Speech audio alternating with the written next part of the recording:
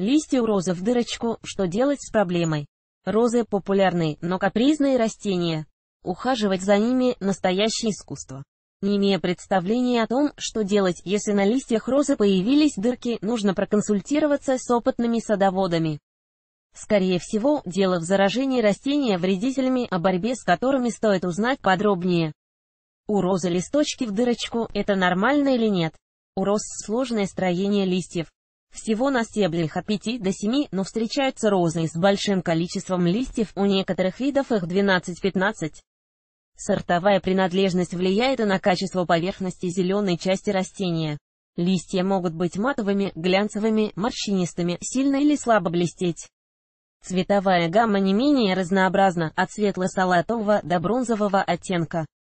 Листья розы покрытые клей, если лист изменил свою структуру, был светлым и потемнел, сжался, на нем появились дырочки или крапинки. Пора задуматься об обработке растения фунгицидами или инсектицидами. Черные крапинки и отверстия не могут образоваться без причины. Это признак болезни или нападения на куст вредителей. Важно, оставленное без внимания, растение может погибнуть, а вместе с ним погибнут и другие посадки. Почему так происходит? Причина проблемы дырки на листьях – это заслуга тлей, щитовки и других паразитирующих насекомых, переселившихся на ослабленный из-за отсутствия правильного ухода куст. Иногда на розах поселяется одновременно несколько видов вредителей. О способе уничтожения каждого из них нужно знать в подробностях, особенно если в саду обустроен настоящий розарий. Тля – это маленькое, быстро размножающееся насекомое селится на молодых побегах и не раскрывшихся бутонах. Изъеденное клей растение становится легкой добычей для других вредителей, не может сопротивляться болезням, спровоцированным вирусами и бактериями, погибает. Вредители поели растения на кусте живут огромные колонии тлей. Найти их можно на изнанке листьев, цветоносе внутри бутона. Самки крыльев не имеют, они не ими так опасны. Но отложенные ими личинки проедают в зелени огромные дыры, питаются много и постоянно, становятся способны к размножению уже на 10 день жизни. Важно, стлей борется при помощи приобретенных в магазине препаратов. На начальной стадии заражения пользуются народными средствами. Но если насекомых много, то пользы это не принесет, можно упустить момент, после которого растение уже будет не спасти. Клещ паутинный заметить на посадках паутинного клеща в момент его появления удается немногим садоводам. Этот небольшой членистоногий вредитель обладает почти прозрачным тельцем, окрашенным в зеленовато-желтый цвет. Такая окраска позволяет клещу оставаться незаметным не только для человека, но и для других насекомых птиц. Клещи питаются соками растений, предпочитая молодые побеги старым. Они размножаются в течение всего лета и способны нанести серьезный урон зеленым насаждениям, поесть их. Лишенные нужных им живительных сил, листья скручиваются, покрываются сетью мелких дырочек. Сделать ничего невозможно, придется обрывать или уничтожать все растение. Паутинный клещ покрыл отцветшие бутоны листовертка насекомые из семейства бабочек с щетиновидными или тонкоресничатыми усиками, самцы крайне невзрачная, но очень вредная для растений. С наступлением осени листовертка откладывает множество яиц. Весной из них вылупливаются желтовато-коричневые гусеницы. Они питаются почками и листьями роз, из-за чего они сворачиваются в трубочку и покрываются мелкими дырочками. От небольшого количества гусениц избавляются вручную. Если их много, кусты обрабатывают специальными препаратами, не позволяя гусеницам превратиться в бабочек и вновь отложить яйца. Щитовка один из самых опасных вредителей в саду, относится к семейству червецов. Насекомое небольшое, заметить единичные экземпляры сложно. Щитовки покрывают листья липким налетом. Фактически опасны не они сами, а именно этот налет. Лишенные кислорода зеленые листья растений становятся уязвимы для вирусов и бактерий. Чтобы избавиться от вредителя, придется изрядно потрудиться. На вредоносное насекомое почти не действуют химические препараты или народные средства. Опрыскивание не поможет. Садоводу придется взять мягкую ткань или губку, вымочить ее в мыльном растворе и использовать для протирания каждого листика. Если роза в саду одна, то проблем это не вызовет, но справиться с заражением щитовками розария будет сложно. Важно, лучше не допускать появления щитовок, внимательно следя за состоянием других растений, становящихся местом обитания вредителей, которые появляться могут не только на розах. Щитовка на листьях и стеблях цикадка розанная насекомое способна перелетать с растения на растение. У него удлиненное тельце и желтовато-зеленые крылья.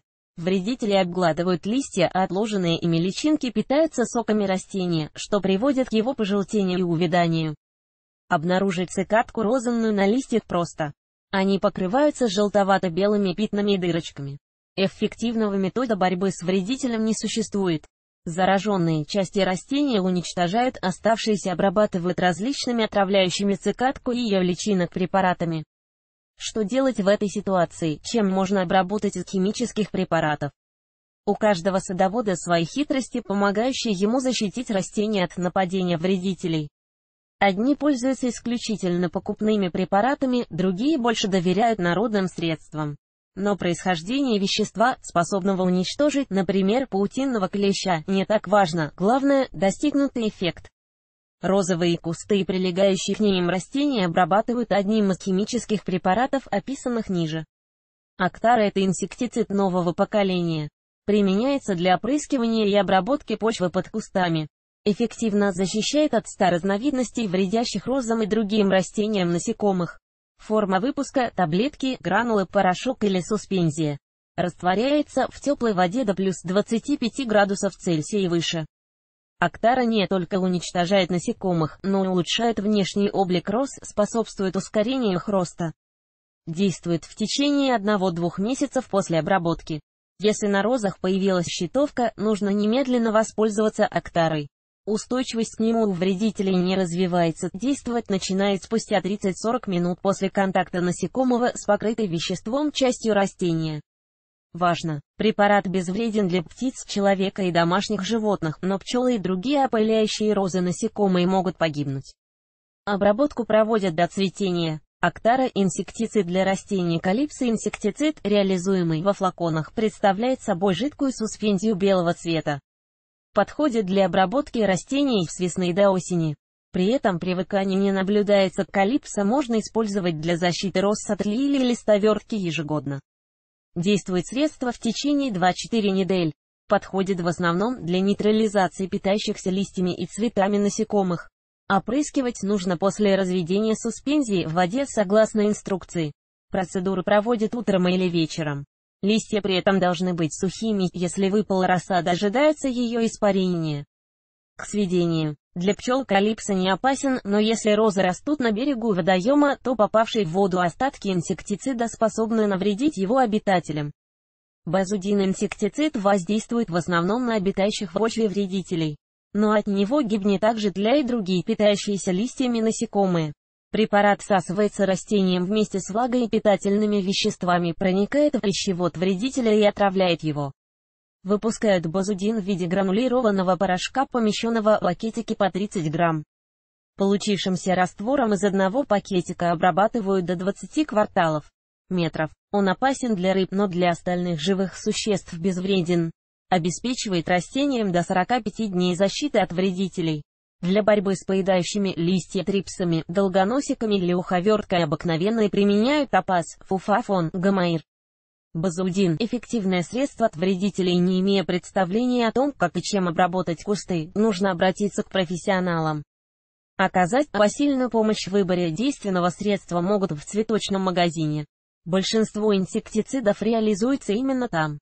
Важно, независимо от выбранного препарата обработку проводят дважды с интервалом в 10 дней. Народные средства. Справиться с листовыми земляными вредителями помогают домашние подручные средства, например, чеснок. 200 грамм чеснока не очищают шелухи, измельчают. Полученную массу заливают 1 литр воды, оставляют на питьюне и настаиваться. Один раз в день емкость с готовящимся инсектицидом встряхивают. 100 грамм готовой смеси растворяют в 5 литров воды, смочив в полученном растворе губку, обтирают ими листья растения. Мыльный раствор. Хозяйственное мыло в количестве 2-3 стакана. Ложек растворяют в 1 литр воды, добавляют 50-100 грамм золы и опрыскивают получившейся смесью растения. Для уничтожения тлипаутинного клеща применяют также меси, приготовленные на основе лука красного перца, табака или горькой полыни. Профилактика появления вредителей. Ухаживать за розами придется в течение всей вегетации. Необходимо регулярно пропалывать делянку, удаляя сорняки, являющиеся местом обитания вредителей, рыхлить почву, окучивать кусты. Один раз в месяц опрыскивать почву и кусты слабым раствором марганцовки, поливать розы после высыхания грунта, опрыскивать розы раствором. Нитрофена до набухания почек 200 грамм на 1 литр воды подкармливать до трех обязательных подкормок. Чтобы защитить розарий от паразитов, высаживают рядом с ним привлекающие птиц растения, а также цветы, отпугивающие насекомых. Если при осмотре куста обнаруживаются поврежденные стебли и листья, их удаляют, растения обрабатывают инсектицидами. Для профилактики кусты опрыскивают инсектицидами розы, достаточно непросты для выращивания новичками растения. Они часто и подолгу болеют, могут переродиться в шиповник. Цветы листья облюбовывают для паутинные клещи и другие вредители. Если листья у розы в дырочку, что делать, нужно решить быстро. В большинстве случаев посадки приходится уничтожать или запасаться инсектицидами и регулярно их обрабатывать.